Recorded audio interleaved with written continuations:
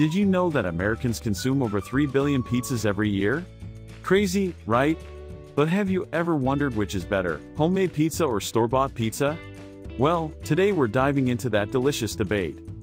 Hey everyone! Welcome back to the channel. Today, we're tackling a topic that's near and dear to many of our hearts, pizza. We're going to pit homemade pizza against store-bought pizza in the ultimate crust battle. Let's find out which one truly reigns supreme.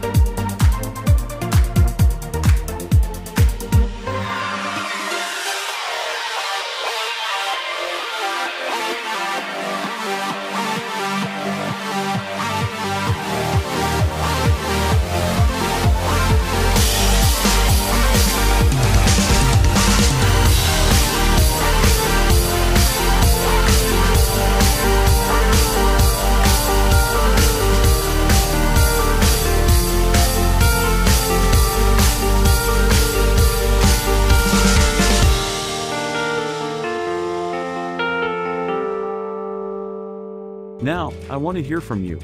What's your go-to pizza preference, homemade or store-bought? Drop your thoughts in the comments below. And if you enjoyed this video, don't forget to check out my other cooking videos for more delicious recipes. Thanks for watching, and I'll see you next time.